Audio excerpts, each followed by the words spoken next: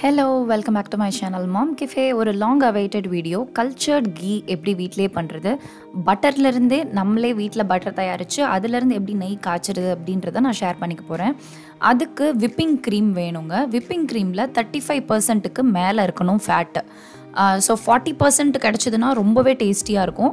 Thirty five percent கிடச்சா கூட நம்ம தாராளமாக பண்ணலாம். கூடவே ஆர்கானிக் மஞ்சள் தூள் வேணும்.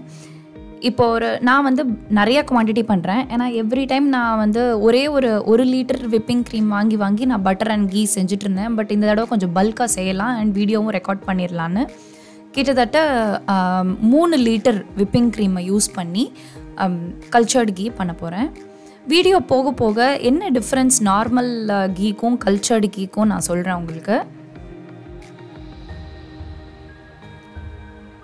ஸ்டவ்வை ஆன் பண்ணி மீடியம் டு ஹை ஃப்ளேமில் வச்சுட்டு மூணு லிட்டர் போட்டிருக்கோம் இல்லையா? அதை வந்து ஒரு விஸ்க் வச்சு லைட்டாக மிக்ஸ் பண்ணி விட்டுட்டு விட்டுருங்க.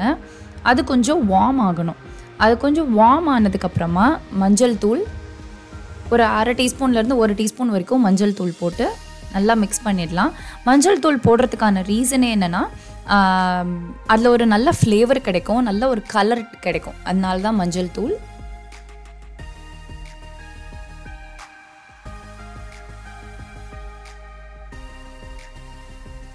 இந்த மஞ்சள் சூ தூள் சேர்க்கறதுனால இந்த ஊத்துக்குழி வெண்ணெய்ன்னு சொல்லுவாங்கல்ல கடையில் கிடைக்கும்ல அந்த மாதிரி இருக்கும். நம்ம வெண்ணெய் கடைய கடைய அந்த வெண்ணெயோட டெக்ஸ்சர் கலர் ஃப்ளேவர் எல்லாமே சூப்பராக இருக்கும். நான் ஒரு ஒரே ஒரு சின்ன விரலை மட்டும் நான் விட்டு விட்டு ஹீட்டு செக் பண்ணிகிட்டு இருந்தேன். அதுக்கப்புறமா தெர்மோமீட்டர் யூஸ் பண்ணலாம் அப்படின்னு சொல்லி டெம்பரேச்சர் செக் பண்ணிகிட்டு இருக்கேன். டெம்பரேச்சர் வந்து ஒரு 70 டு 75 ஃபைவ் டிகிரிஸ் வேணும் எக்ஸாக்ட் இன்கேஸ் தெர்மோமீட்டர் இல்லை அப்படின்னா ஒரு விரலை விட்டு பாருங்கள் லைட்டாக கார்னரில் அப்போ வந்து கை கொஞ்சம் வார்மாக இருக்கிற மாதிரி ஃபீல் ஆகணும். ஏன்னா நம்ம வந்து பொதுவாக தயிருக்கு எப்படி உரக்கூத்துவோம்? பாலை கொஞ்சம் காய்ச்சி வார்ம் ஆனதுக்கப்புறமா அதை நல்லா ஆற்றி அதில் வந்து கொஞ்சம் தயிர் ஊற்றி நம்ம கல்ச்சர் பண்ண வைப்போம் உரக்கூத்த வைப்போம். அதே டெக்னிக் தான் இந்த கல்ச்சர்டு பட்டருக்கும் நம்ம பண்ண போகிறோம் அதுக்கு பாலுக்கு பதிலாக விப்பிங் க்ரீம் யூஸ் பண்ணுறோம் பட் அதே மாதிரி நம்ம தயிர் தான் யூஸ் பண்ண போகிறோம் இப்போ இந்த விப்பிங் க்ரீம் கொஞ்சம் சூடானதுக்கு அப்புறமா அதை எந்த பாத்திரத்தில் உரக்கூத்த போகிறோமோ அந்த பாத்திரத்தில் மாற்றிக்கலாம் கொஞ்சம் டீப்பாக இருந்தால் நல்லாயிருக்கும் மாற்றிட்டு இப்போ இந்த சூடு கொஞ்சம் ஆறணும். அதுக்கு கொஞ்சம் விஸ்க் பண்ணிகிட்டு இருந்தால் வார்ம் சூடாக இருந்ததுலேருந்து கொஞ்சமாக வார்ம் ஆகிடும் அதுக்கப்புறமா ஒரு அரை கப்பு அளவுக்கு தயிர் எடுத்து வச்சுருக்கேன்.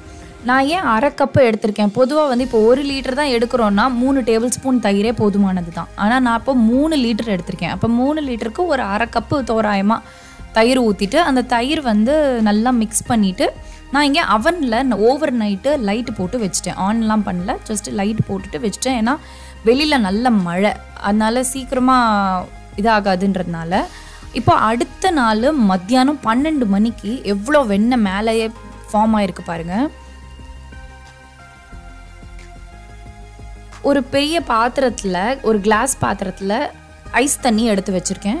இன்னொரு டீப் பாத்திரம். டீப் பாத்திரம் எதுக்குன்னா நம்ம நல்லா விஸ்க் பண்ண போகிறோம் இதை பிளெண்டர் வச்சு. ஸ்டாண்ட் மிக்சர் இருக்குன்னா சூப்பருங்க உங்களுக்கு கை வலியே கிடையாது. ஸ்டாண்ட் மிக்சர் இருக்குன்னா வீட்லேயே தாராளமாக அதை மாட்டி விட்டுட்டு நீங்கள் பாட்டு ஒரு பத்து நிமிஷம் உட்காந்துட்டு வரலாம். அந்த அளவுக்கு வெண்ணெய் ரெடி ஆகிடும் பட் என்கிட்ட ஸ்டாண்ட் மிக்சர் இல்லாததுனால நான் ஹேண்ட் பிளெண்டர் யூஸ் பண்ணி தான் நான் பண்ண போகிறேன் அதுக்கு டீப்பான பாத்திரமாக இருந்ததுன்னா நம்ம அந்த விப்பிங் க்ரீமை விப் பண்ண பண்ண தெரிக்காமல் இருக்கும். அதனால கொஞ்சம் கொஞ்சம் பேட்சாக போட்டு தான் நம்மளால் பண்ண முடியும். ஏன்னா இப்போ இதை நம்ம அடிக்க ஆரம்பித்தோன்னா கிட்டத்தட்ட 15 டு டுவெண்ட்டி மினிட்ஸ் ஆகும். நமக்கு அந்த அது க்ரீம் ஆகி அதுலேருந்து வெண்ணெய் வர்றதுக்கு அப்படின்றது கொஞ்சம் டைம் ஆகும். இப்போ இது ரெண்டுத்துக்கும் என்ன டிஃப்ரென்ஸ் அப்படின்னா லாக்டேஸ் அப்படின்ற ஒரு என்சைம் இருக்குங்க. நம்ம பாலில் பொதுவாக இருக்கிற ஒரு என்சைம் அந்த லாக்டோஸ் அலர்ஜி இருக்கிறவங்களுக்குலாம் இந்த கல்ச்சர்டு கீ பட்டர் தாராளமாக கொடுக்கலாம். ஏன்னா அதில் அந்த லாக்டேஸ் அப்படின்றது லாக்டிக் ஆசிடாக மாறிடும். தயிர் உரக்கூத்தும் போது ஸோ மெயின் டிஃப்ரென்ஸ் வந்து இப்போ கடையில் வாங்குற நெய் எப்- என்ன பண்ணுவாங்கன்னா பால் நல்லா ஃபுல் ஃபேட்டு பாலை நல்லா காய்ச்சிட்டு அதுலேருந்து ஏடு ஃபார்ம் ஆகிறத சேர்த்து சேர்த்து வச்சு வச்சு வச்சு வச்சு கடைசியில் ஒரு நாள் இந்த மாதிரி ஒரு வெண்ணெய் கடைஞ்சி எடுப்பாங்க. இப்போ கல்ச்சர்டு கீனா இப்போ கல்ச்சர்டு கீ சொல்கிறதுக்கு முன்னாடி நம்மளோட பட்டர் ரெடி ஆகிடுச்சு பாருங்கள் கிட்டத்தட்ட ஒரு ஃபிஃப்டீன் டுவெண்ட்டி மினிட்ஸ் நல்லா பீட் பண்ணதுக்கப்புறமா அந்த தண்ணி தனியாக வந்து வெண்ணெய் தனியாக நமக்கு திரண்டுடும்.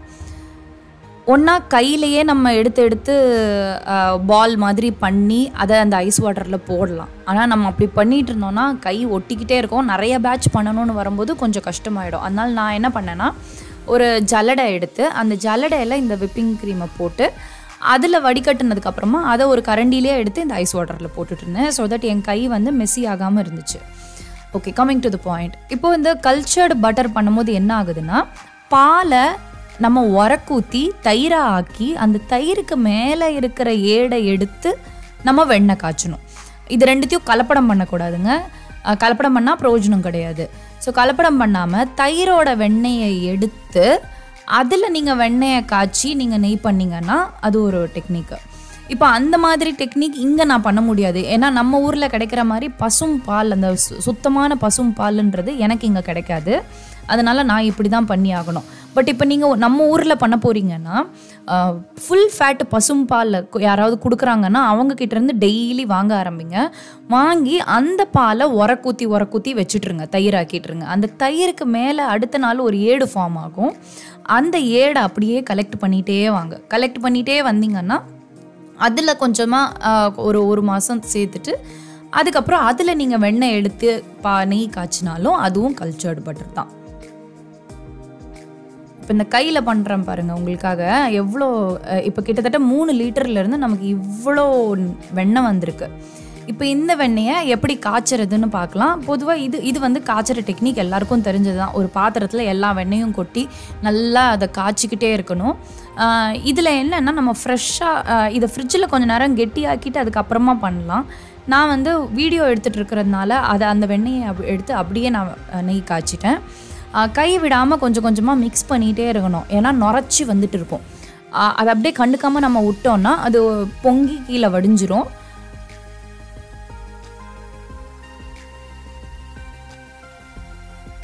நெய் காய்ச்சறதுக்கும் ஒரு பதினஞ்சு நிமிஷம் ஆகும். நீங்கள் எவ்வளோ பேட்ச் பண்ணுறீங்களோ அவ்வளோ நேரம் ஆகும்.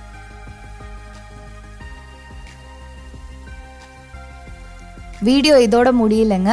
இந்த நெய் எப்படி பண்ணுறதுன்னு பார்த்துட்டு இந்த நெய்யை யூஸ் பண்ணி குட்டீஸ்க்கு ஒரு சூப்பரான ஹெல்த்தியான டேஸ்டியான ஒரு டெசர்ட் எப்படி பண்ணுறதுன்றத நான் ஷேர் பண்ணுறேன் கொஞ்ச நேரத்தில் இந்த நெய் வெண்ணெய் வந்து கலர் இந்த கலரில் மாற ஆரம்பிக்கும். அப்போ வாசனை சூப்பராக இருக்கும். அந்த மொத்த வீடே மணக்கும். அந்த அளவுக்கு சூப்பராக இருக்கும். மேலே லைட்டாக ப்ரௌன் ஆனதுக்கப்புறமா நம்மளோட நெய் ரெடி ஆயிடுச்சு. இப்போ இதை வச்சு ஒரு டேஸ்டியான ரெசிபி பார்க்கலாம். அதுக்கு ஒரு சின்ன பேன் எடுத்திருக்கேன். அதில் நம்ம ஃப்ரெஷ்ஷாக காய்ச்சின நெய் சேர்த்துக்க போகிறோம்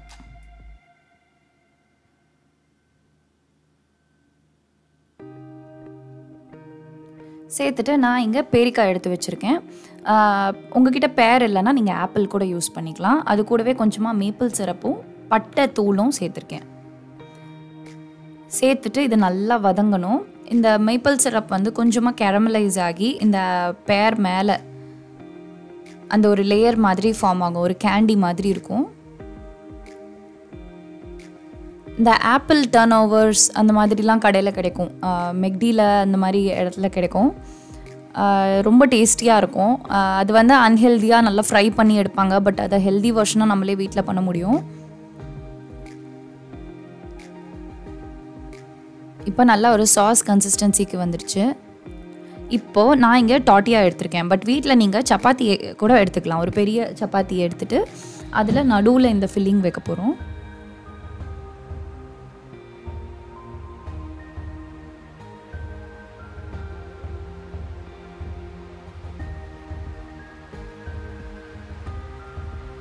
வச்சுட்டு இதை நல்லா ஃபோல்டு பண்ணி ரோல் பண்ண போகிறோம் இந்த சாஸை கூட அப்படியே சேர்த்துக்கோங்க. ஏன்னா அது வந்து அந்த cinnamon and maple syrup flavour இருக்கும். பட்டை தூள் உங்கள் கொட்டீஸ்க்கு பிடிக்கலன்னா நீங்கள் ஏலக்காய் தூள் கூட சேர்த்துக்கலாம்.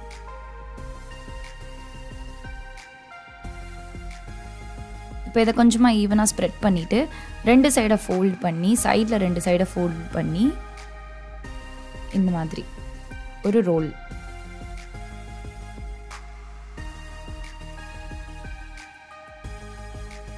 இப்போ கொஞ்சம் அந்த பேன்லேயே நெய் சேர்த்துட்டு எல்லா பக்கமும் இதை நல்லா டோஸ்ட் பண்ணி எடுத்துட்டோன்னா நம்மளோட இதுக்கு என்ன பேர் வைக்கலாம்?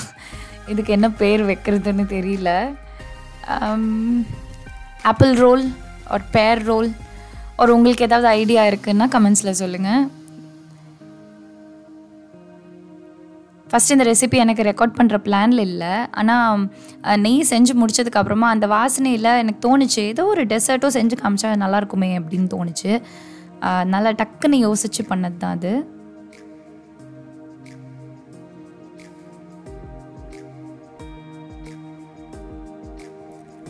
அவ்வளோதான் ஹோப் இந்த cultured ghee cultured butter along with இந்த ரெசிபி உங்களுக்கு ரொம்பவே பிடிச்சிருக்கும் நான் நம்புகிறேன் திரும்ப அடுத்து வேற ஒரு இன்ட்ரெஸ்டிங்கான வீடியோவில் உங்கள் எல்லாரையும் சந்திக்கிறேன். அது வரைக்கும் stay safe stay healthy thank you so much ப பாய்